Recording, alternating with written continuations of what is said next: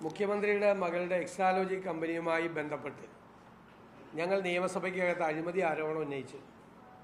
ആ അഴിമതി ആരോപണം ഉന്നയിച്ചപ്പോൾ അതിന് മറുപടി പറഞ്ഞ മുഖ്യമന്ത്രി ഇത് നിയമപരമായി നടന്ന ഇടപാടാണെന്നും ഇത് സംബന്ധിച്ച് ഈ കമ്പനിക്ക് ആലുവയിലെ കമ്പനിക്ക് അദ്ദേഹത്തിന്റെ മകളുടെ കമ്പനി സോഫ്റ്റ്വെയർ സേവനങ്ങൾ നൽകിയിട്ടുണ്ടെന്നും എന്നാൽ ഇൻകം ടാക്സിന്റെ ഇന്ററീം ബോർഡ് അവരുടെ അവർ പറയുന്നത് കേൾക്കാനുള്ള അനുവാദം കൊടുത്തില്ല.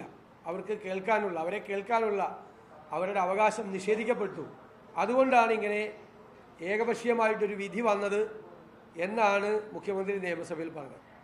എന്നാൽ സ്റ്റാറ്റ്യൂട്ടറി അതോറിറ്റിയായ രജിസ്ട്രാർ ഓഫ് കമ്പനീസിന്റെ ബാംഗ്ലൂരിലെ റിപ്പോർട്ട് ഇപ്പോൾ പുറത്തു വന്നിരിക്കുകയാണ്. ആ റിപ്പോർട്ടിൽ വളരെ വ്യക്തമാണ് മുഖ്യമന്ത്രി പറഞ്ഞത് മുഴുവൻ പച്ചക്കള്ളമാണ്. കാരണം ഇവർ തമ്മിൽ നിയമപരമായ ഒരു ഇടപാട് നടന്നതായിട്ടുള്ള ഒരു രേഖയും ഹാജരാക്കാൻ പറ്റിയിട്ടില്ല.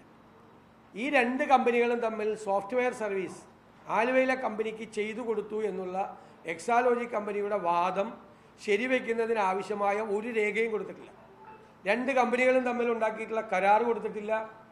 അവർ രണ്ടുപേരും തമ്മിൽ ഈ സർവീസ് നടത്തിയതിനെ സംബന്ധിച്ചുള്ള ഇടപാടുകളെ സംബന്ധിച്ചിട്ടുള്ള ഒരു കറസ്പോണ്ടൻസും ഹാജരാക്കിയിട്ടില്ല. ഒരു രേഖയും കയ്യിലില്ല. മാത്രമല്ല ആലുവയിലെ കമ്പനിയെക്കുറിച്ചുള്ള മുഴുവൻ വിവരങ്ങളും ആലുവയിലെ കമ്പനിയിലെ ഉദ്യോഗസ്ഥരുടെ മൊഴികൾ മുഴുവൻ അവരുടെ കയ്യിലുണ്ട്. ആ മൊഴികളിൽ പറഞ്ഞിരിക്കുന്നത് ഒരു തരത്തിലുള്ള സർവീസും ആലുവയിലെ കമ്പനിക്ക് കിട്ടിയിട്ടില്ല എന്നാണ്. അപ്പോൾ സർവീസ് ചെയ്യാതെയാണ് അതായത് ഞങ്ങളുടെ ആരോപണം നിയമസഭയിൽ ഞങ്ങൾ ഉന്നയിച്ച അഴിമതി ആരോപണം ആലുവയിലെ കമ്പനിക്ക് ഒരു സർവീസും സോഫ്റ്റ്വെയർ സർവീസും ചെയ്യാതെ മുഖ്യമന്ത്രിയുടെ മകളുടെ അക്കൗണ്ടിലേക്കും മകളുടെ പേരിലുള്ള കമ്പനിയുടെ അക്കൗണ്ടിലേക്കും ഒരു കോടി എഴുപത്തിരണ്ട് ലക്ഷം രൂപ ട്രാൻസ്ഫർ ചെയ്തു എന്നുള്ളതാണ്. സേവനം ചെയ്യാതെ ചെയ്ത ആ എമൗണ്ട് അത് കൃത്യമാണ്. ഇപ്പോൾ രജിസ്ട്രാർ ഓഫ് കമ്പനീസ് പറയുന്നത് കമ്പനീസ് ആക്ടിന്റെ സെക്ഷൻ നാനൂറ്റി നാൽപ്പത്തേഴും നാനൂറ്റി നാൽപ്പത്തെട്ടും ബാധകമാണെന്ന്. അതായത് തെറ്റായ രേഖകൾ ഉപയോഗിച്ച് പ്രതിഫലം കൈപ്പറ്റി ഫ്രോഡ് നടത്തി അതായത് സർവീസ് ചെയ്യാതെ പണം വാങ്ങിച്ചു. ഈ രണ്ട് കമ്പനീസ് ആക്ടിന്റെ നാനൂറ്റി നാൽപ്പത്തേഴ് നാനൂറ്റി നാൽപ്പത്തെട്ട് പ്രകാരമുള്ള കുറ്റമാണ് ഈ കമ്പനിയും കമ്പനിയുടെ ഉടമയും ചെയ്തിട്ടുള്ളത് എന്നാണ് സ്റ്റാറ്റ്യൂട്ടറി അതോറിറ്റിയായ രജിസ്ട്രാർ ഓഫ് കമ്പനീസിന്റെ റിപ്പോർട്ടിൽ പറയുന്നത്.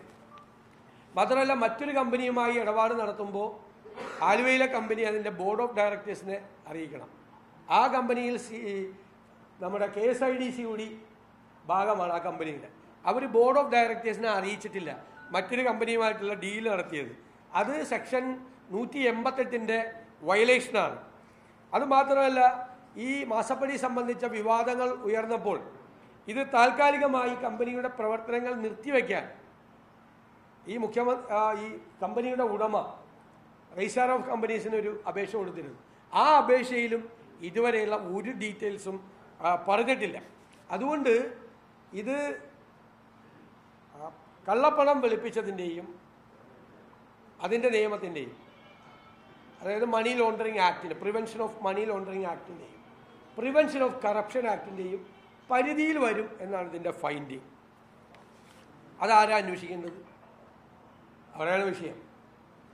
പ്രിവെൻഷൻ ഓഫ് മണി ലോണ്ടറിങ് ആക്ടിന്റെ പ്രൊവിഷനിൽ വന്നാൽ അത് അന്വേഷിക്കേണ്ടത് എൻഫോഴ്സ്മെന്റ് ഡയറക്ടറേറ്റാണ് പ്രിവെൻഷൻ ഓഫ് കറപ്ഷൻ ആക്ടിന്റെ പരിധിയിൽ വന്നാൽ അത് അന്വേഷിക്കേണ്ടത് സി ബി ഐ ആണ്. അപ്പോൾ സി ബി ഐയും ഇ ഡിയും അന്വേഷിക്കേണ്ട കേസാണ് ഇത് എന്ന് രജിസ്ട്രാർ ഓഫ് കമ്പനീസ് എന്ന് പറയുന്ന സ്റ്റാറ്റ്യൂട്ടറി അതോറിറ്റി സർക്കാരിന് റിപ്പോർട്ട് കൊടുക്കും. കേന്ദ്ര സർക്കാർ ഇപ്പോൾ എന്താ ചെയ്തിരിക്കുന്നത്? കേന്ദ്ര സർക്കാർ കോർപ്പറേറ്റ് കാര്യ മന്ത്രാലയത്തെ കൊണ്ട് ഇത് അന്വേഷിപ്പിക്കും അത് തന്നെ ഇവർ തമ്മിലുള്ള ഏർപ്പാടിന്റെ ഭാഗമാണ്.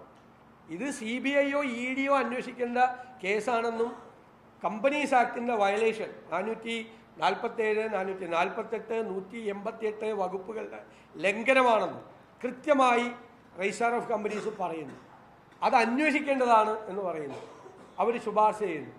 അത് സി ബി ഐയെ കൊണ്ടും ഇ ഡിയെ കൊണ്ടും അന്വേഷിക്കാതെ കോർപ്പറേറ്റ് മന്ത്രാലയത്തെ കൊണ്ട് അത് അന്വേഷിപ്പിക്കുന്നത് സംഘപരിവാർ നേതൃത്വവും സി പി എം നേതൃത്വവും പിണറായി വിജയനും തമ്മിലുള്ള അവിഹിത ബന്ധത്തിന്റെ ഭാഗമാണ് യഥാർത്ഥത്തിൽ അന്വേഷിക്കാൻ.